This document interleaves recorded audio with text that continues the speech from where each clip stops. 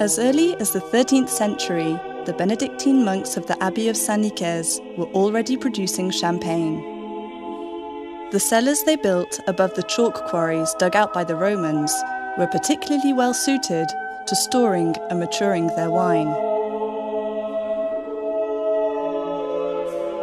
It is these cellars that you are about to visit.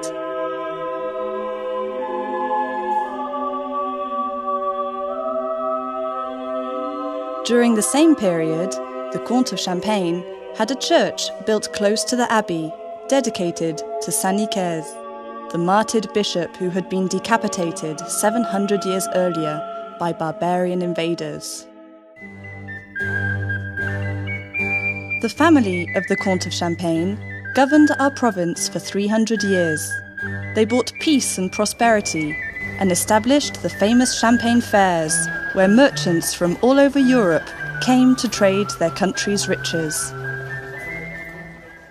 The life of the most famous Comte of Champagne, Thibault IV, known as the Troubadour, reads rather like a fairy tale. After first leading the rebellion against the monarchy, the poet prince fell in love with Blanche of Castile, the queen, who was also his cousin.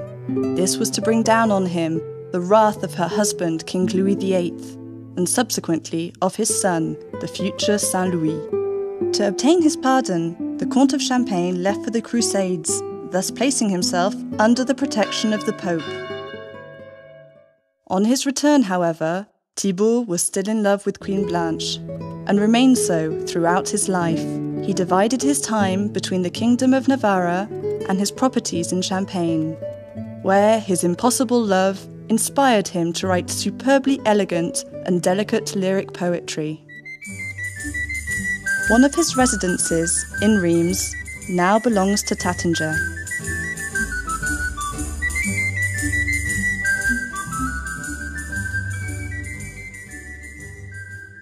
Thibault brought back two treasures from his visit to Palestine a type of rose which he planted in his gardens at Provins, and a vine producing white grapes which, when crossed with other varieties, will later become the Chardonnay. During the French Revolution, the church and abbey of Saint Nicaise, both Gothic masterpieces, were destroyed, and the Champagne house later established itself in what seems, in view of the magnificent cellars, to be an obvious place. That house was to become Taittinger. In the heart of the Champagne area, near Epernay, the Benedictines planted alternating squares of black Pinot grapes and the famous white Chardonnays, descended from the variety brought back by Thibault. At harvest time, the dark and light patches of vine give a checkered effect that looks rather like marqueterie. This is probably why Taittinger's estate in Pierry was named Château de la Marqueterie.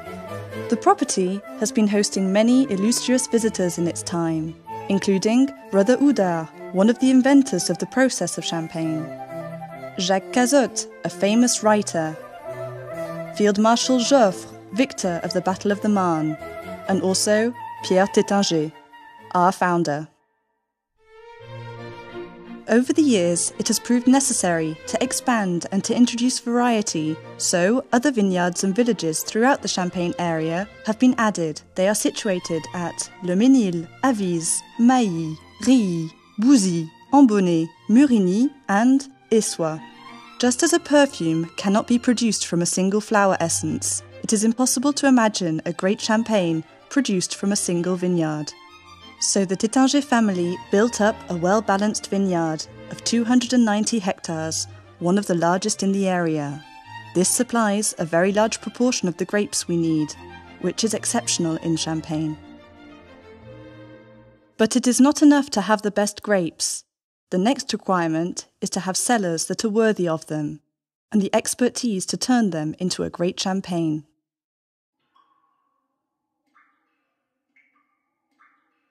It is in these cellars that the prestigious Comte of Champagne Blanc de Blanc is produced, from a blend made up exclusively of white grapes from the greatest vintage years. the Comte de Champagne Rosé, made from the famous Montagne de Reims wines, is also produced here.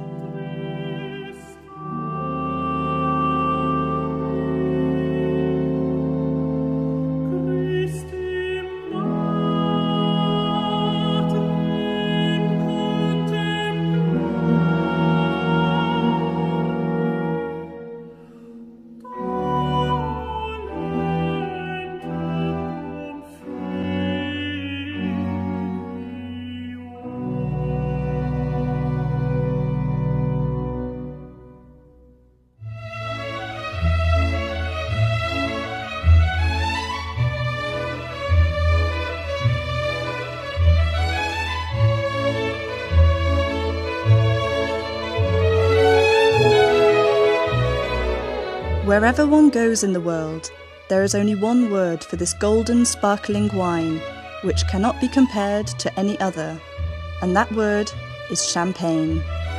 Sometimes people add from France for the sake of clarity, but the addition is superfluous.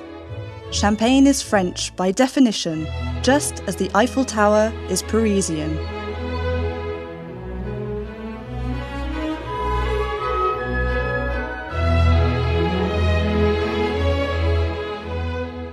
Taittinger champagne can be found today in London, New York, Berlin, Rome, Beijing, Madrid, Tokyo, Shanghai, Moscow, and in over 100 of the capitals and large cities throughout the world.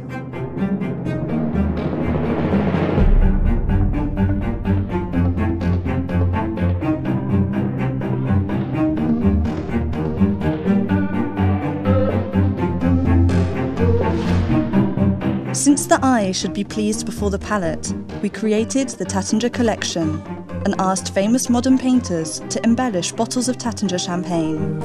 Hartung, Imai, Vieira de Silva, Arman, Lichtenstein, Vasarely, Corneille, Matta, Zaouki, Rauschenberg, and Amadou Sow have so far made their contribution to this prestigious collection. Other famous painters will do so in the future. The brand of champagne is the signature of its producer.